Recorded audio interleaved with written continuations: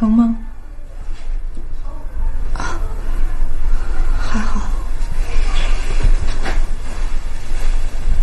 不是我劝你啊，你说你一个堂堂的一个主任，还是一个女干部，你干嘛跟两个小兵过不去啊？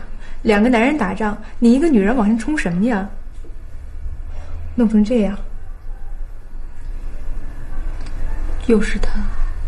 谁啊？我看画上迷彩都一样。还能有谁？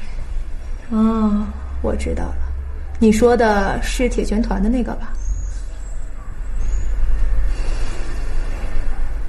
他怎么跑特种部队去了？是红细胞。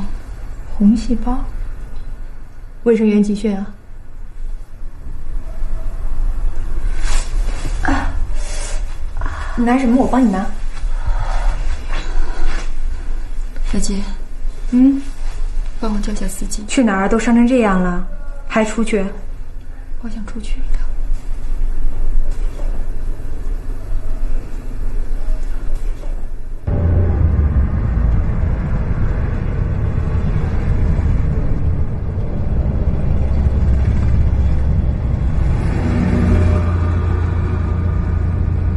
我一定要让你知道我的厉害。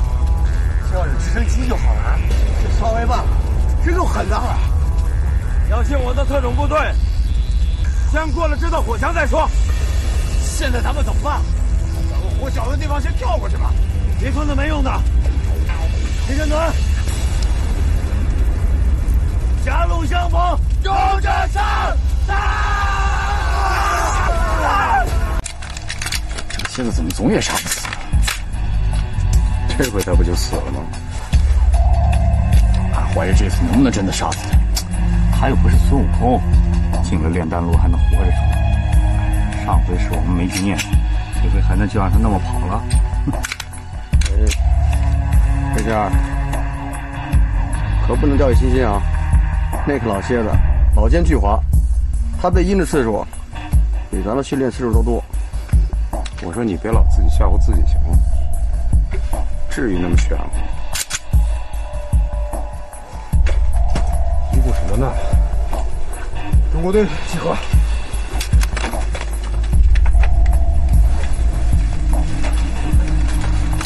怎么样？是不是有点紧张？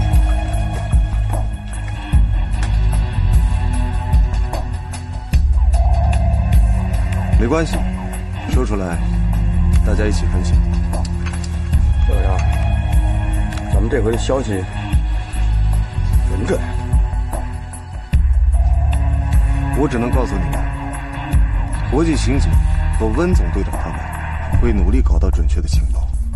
但是，我们是特战队员，也就是执行者，一旦出发，随时会面对敌人枪口的窥视的危险。但是没关系，我们是干什么的？我们是中国陆军的特战队员，危机四伏是家常便饭，如临大敌，那应该是日常的功课。我们是狼牙，我们是中国陆军特战部队。我们是来自地狱的勇士。好，在座的都是最好的特战队员。这次在异国他乡作战，我希望你们做好最坏的打算。预备，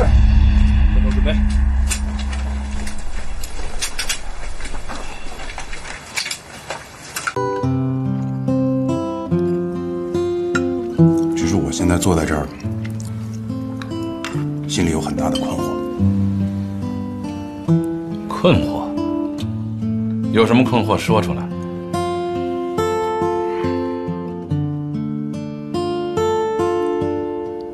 一直在犹豫，不知道别人会怎么看我，这就是我最大的困惑。我可以告诉你，我很快就要从指挥员的位置上退下来了，明年。首长，可别人并不会这么想。你这人怎么这样？你是为别人活还是为自己活？行了，让小雷把话说完，接着说。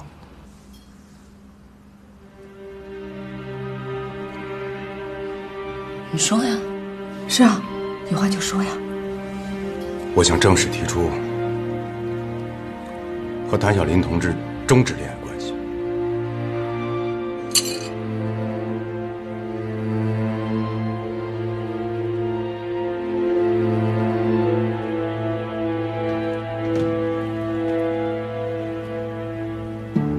之所以这么做，是因为我已经战胜了所谓的困惑。我想和谭小林之间转换一下这个关系。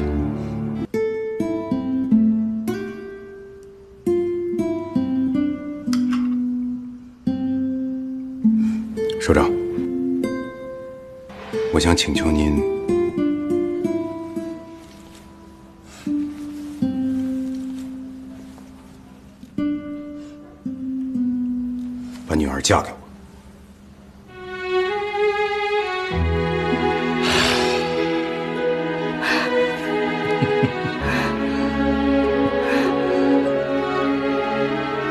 你愿意一生一世来照顾我的女儿吗？我愿意，我愿意用自己的生命去换取她的生命。不许胡说！红军，他们只要抓到我，就可以去领赏。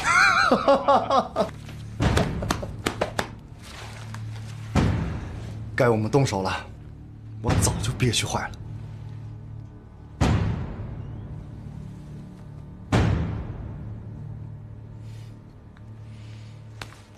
同生共死。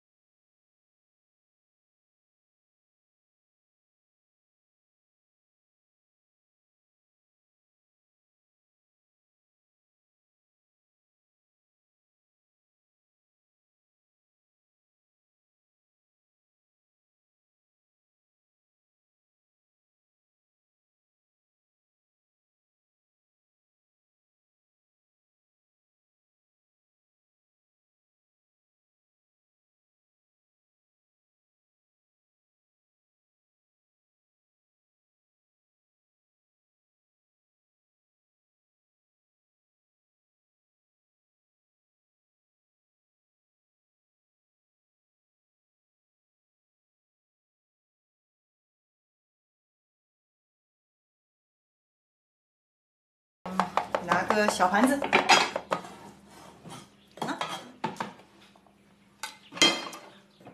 哦呦，你怎么那么笨呢？赶紧捡起来！